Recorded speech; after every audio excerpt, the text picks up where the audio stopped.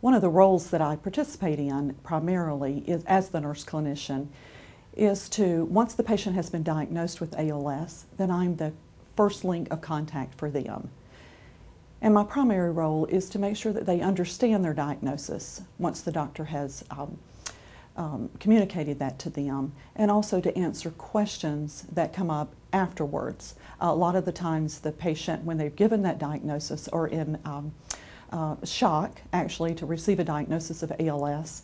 And um, after a few days or a couple of weeks, they have a lot of questions about the disease process and the prognosis of that disease. And then what really do we offer here at the ALS Center for them?